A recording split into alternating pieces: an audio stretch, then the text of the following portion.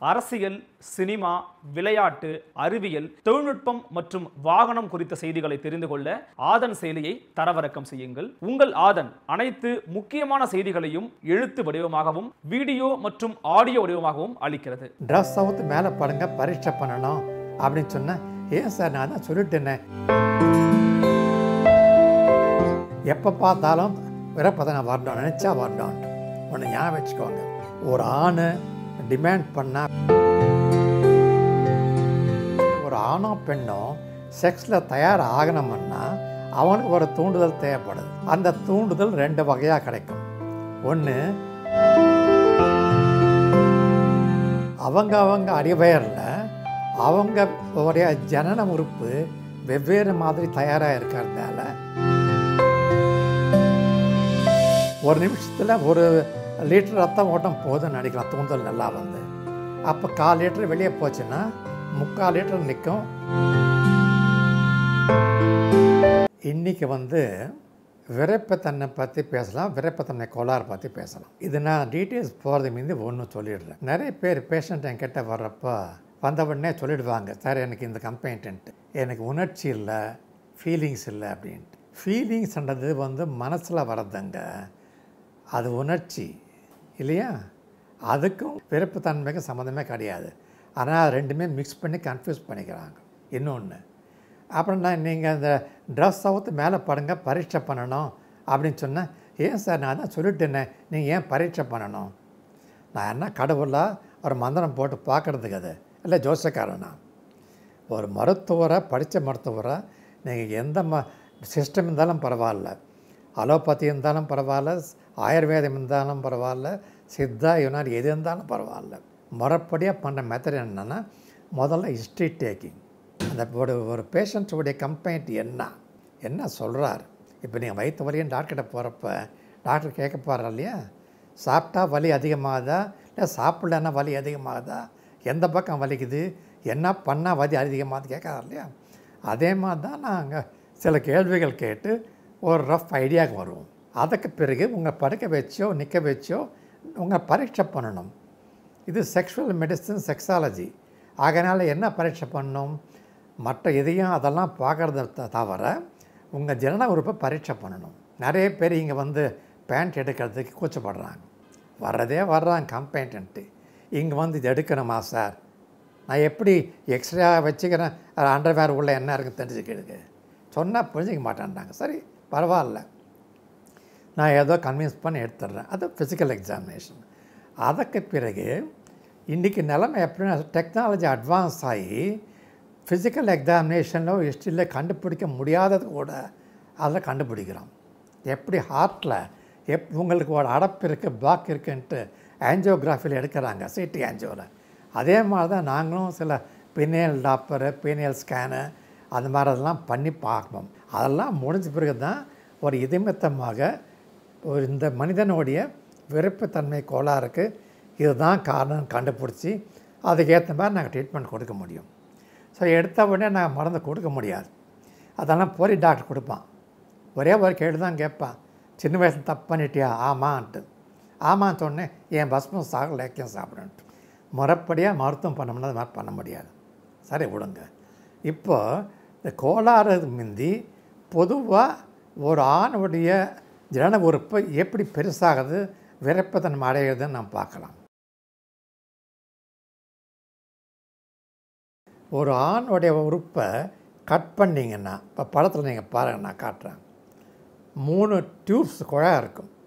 மேலே ரெண்டு இருக்கும் கீழே ஒன்று இருக்கும். படத்தில் பாருங்கள் மேலே இருக்கிற ரெண்டு தான் ரத்த ஓட்டத்துக்கு உதவி செய்யும். விரைப்புத்தன்மைக்கு உதவாகும்.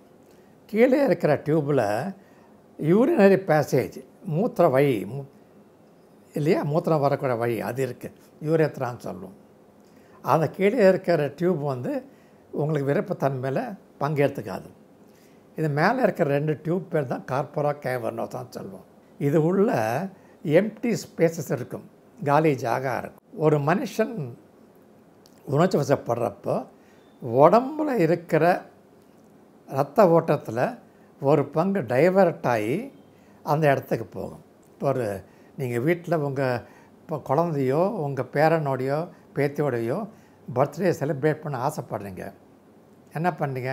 கடைக்கு போயப்பா ஒரு பலூன் கொடுப்பா ஒரு பேக்கெட்டுன்னோம் ஒரு பேக்கெட்டில் நூறு பீஸ் பலூன் கொடுத்துட்றான். எப்படி நூறு பீஸ் சின்ன பேக்கெட்டில் போச்சு? உள்ள காற்று இல்லை. அந்த பலூன் பெருசு பண்ணோம்னா என்ன செய்வீங்க? பம்ப் வச்சியோ இல்லை வாயால் காற்று ஊதியோ அது பெருசு பண்ணுவேங்க. அதே மாதிரி தாங்க ஆண் உறுப்பு. அந்த நான் சொன்னேன் இல்லையா மேலே இருக்கிற ரெண்டு டியூப் குழா அது பேர் கார்போரா கேவர்னோசா. கீழே இருக்கிற டியூப் யூரின் வர்றதுக்கு டியூப் வந்து கார்போரா ஸ்பாஞ்சியோசா.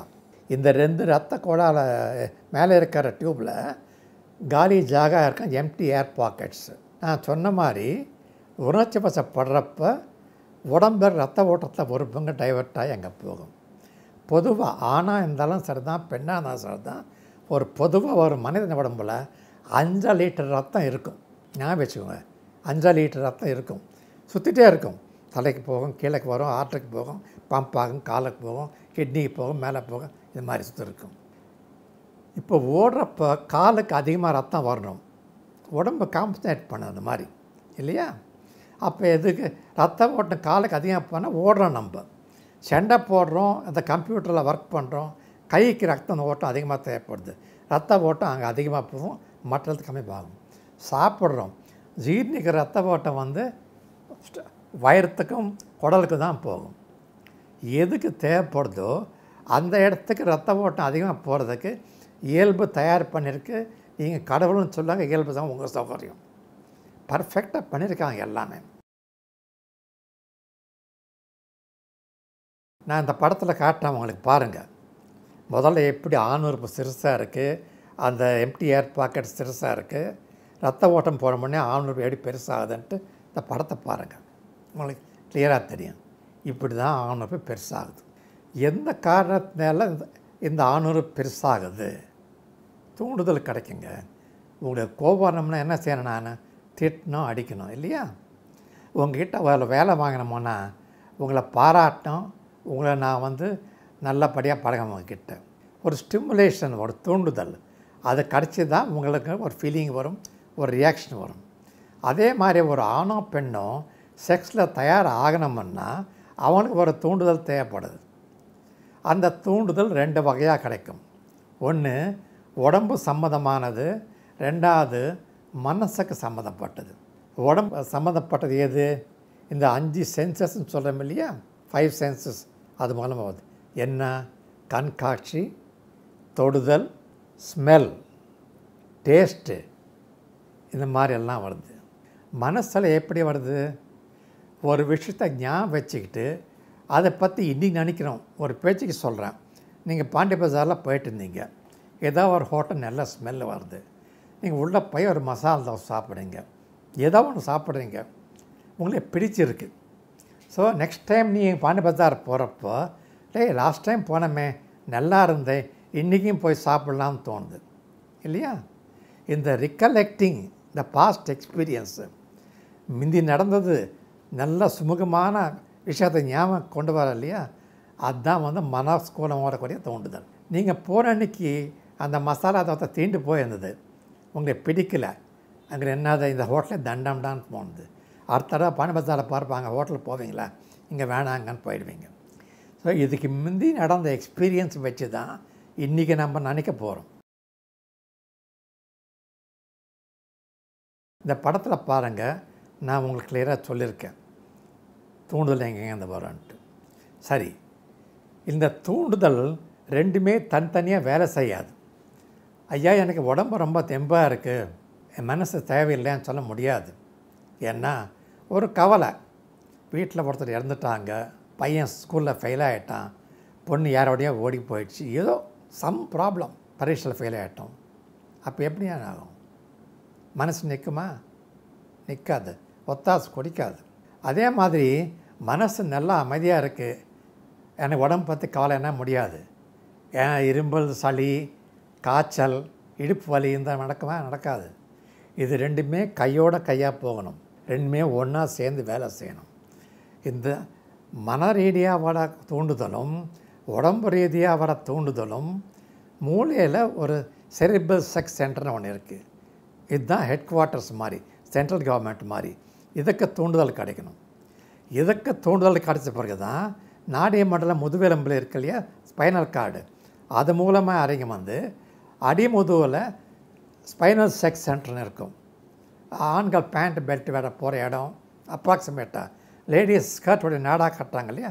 அந்த இடம் அடி வயரில் அடி முதுகில். அங்கே தூண்டுதல் கிடைக்கும்.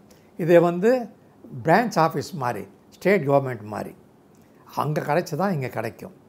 இங்கே கிடைச்ச பிறகு உடம்புல இருக்க ஒரு பகுதி ரத்தம் வந்து டைவர்ட் ஆகி அடிவயரில் வந்து சேருது.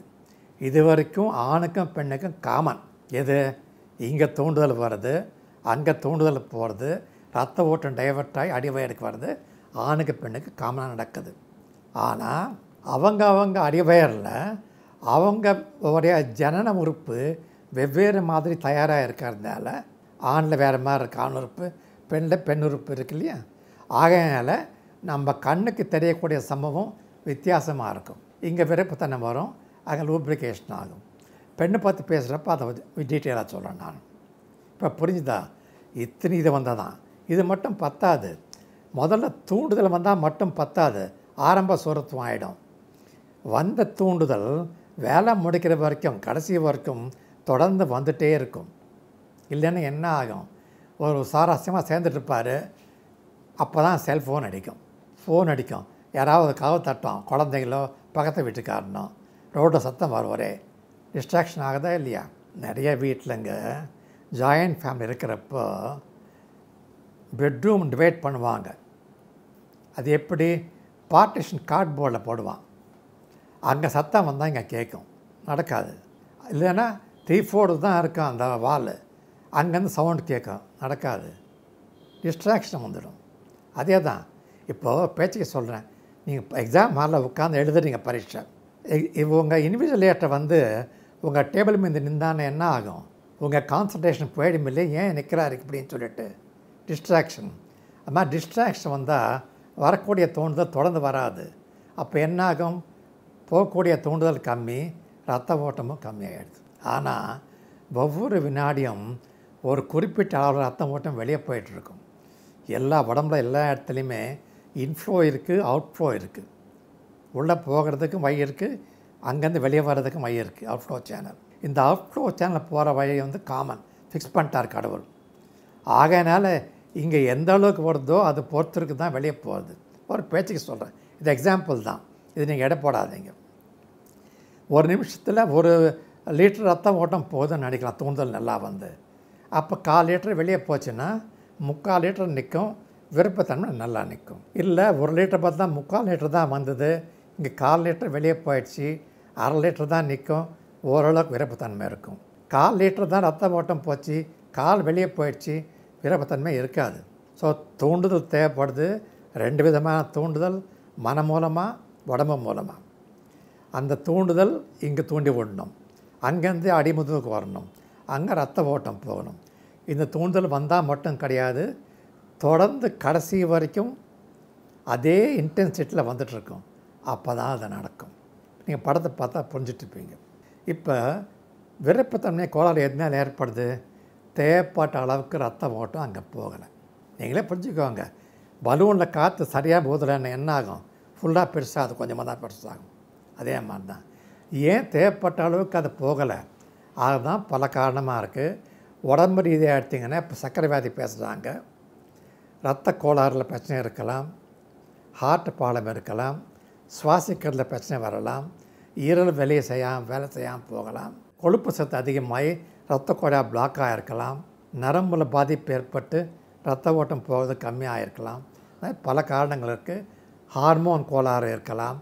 ஆணுடைய ஹார்மோன் டெஸ்டோஸ்டான் கம்மியாக இருக்கலாம் தைராய்டு ஹார்மோன் பிரச்சனை இருக்கலாம். ஒரு குழந்த குழந்த பருவத்தை வளர்கிறப்ப மனசில் என்ன பட்டிருக்கு?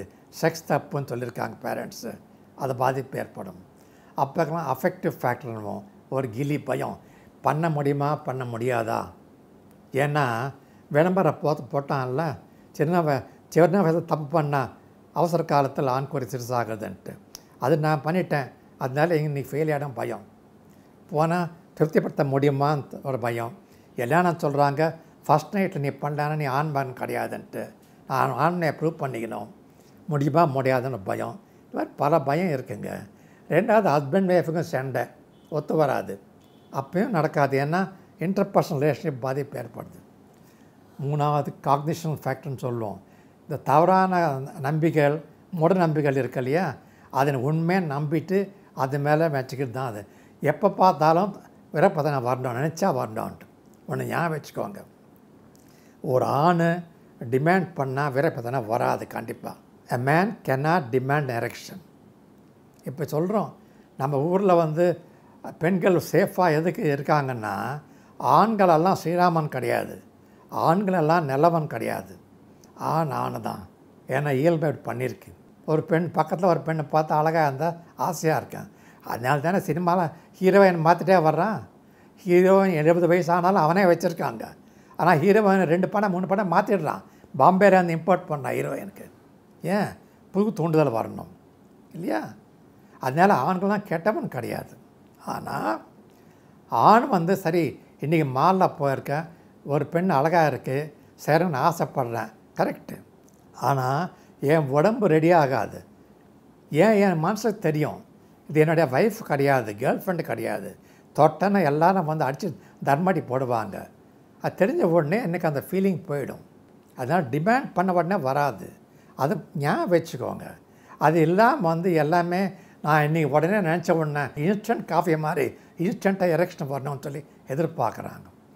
விருப்பத்தின வரணும்னா மன ரீதியாக அமைதியாக இருக்கணும் உடம்பு ஒத்தாசை கொடுக்கணும் அப்போ தான் பலம் கிடைக்கும். அப்படி இல்லைன்னா பிரச்சனைகள் தான் வரப்போகுது. இப்போ உங்களுக்கு புரிஞ்சிருக்கும். விரைப்புத்தன்மைன்னா என்ன? விரைப்புத்தன்மை கோளாறுனா என்னான்ட்டு. அது காரணங்கள் பொதுவாக சொல்லியிருக்கேன். ஏன்னா ரொம்ப டீப்பாக போயினா புரியாது. அது மெடிக்கலுக்கு தான். பொதுமக்களுக்கு தேவைப்பட அளவுக்கு சொல்லியிருக்கேன். இது மேலே உங்களுக்கு ஃபர்தராக சந்தேகம் இருந்ததுன்னா இந்த யூடியூப் சேனலுக்கு நீங்கள் லெட்டர் போடுங்க ஃபோன் பண்ணுங்கள் அவங்க அடுத்த தடவை அந்த கேள்வி கேட்பாங்க நான் பதில் சொல்கிறேன் வணக்கம். டாக்டர் நாராயண ரெட்டி கிட்ட உங்களுக்கு இருக்கிற பாலியல் சம்பந்தமான சந்தேகங்களை தீர்த்துக்க இந்த வாட்ஸ்அப் நம்பருக்கு உங்களோட கேள்விகளை அனுப்பி வையுங்க.